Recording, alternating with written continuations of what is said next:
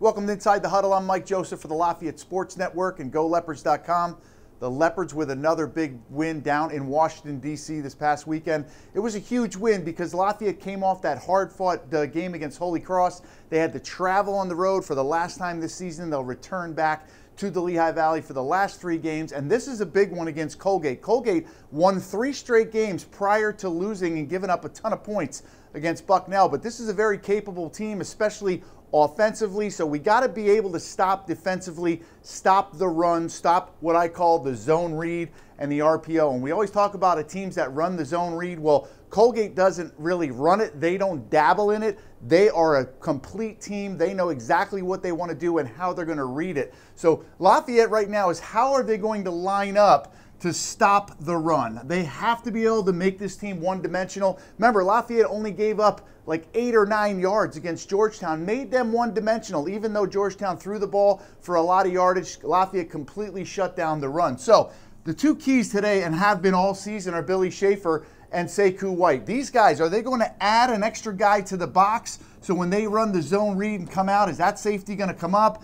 This safety going to come back? Is Billy Schaefer going to be up on the line of scrimmage or going to bang some guys down, get more guys in the box? Can they stop the run with six or do they have to add an extra guy to the box to stop that zone read. So whether they put the H on this side and they put the running back here and they're running that zone read, this is a tough block all season. No wide receiver can block Billy Schaefer in space. He can get off of blocks. He's too big. He gets up, makes plays on the run. He can come down. He can take on the quarterback. So do they add an extra guy on the weak side? Do they add an extra guy on the front side? Do they just line up with three backers in the box? Okay, and then drop the safeties down and play some sort of three deep shell, and then you get a lot of one on one coverage on the back. So the big thing is box. How many guys? Six, seven, eight. They got to be able to stop the run. The other thing is stop the big splash plays because you know off of the zone read comes the RPO, whether it's going to be slant inside on this side, slant inside on this side, putting somebody in conflict, whether it's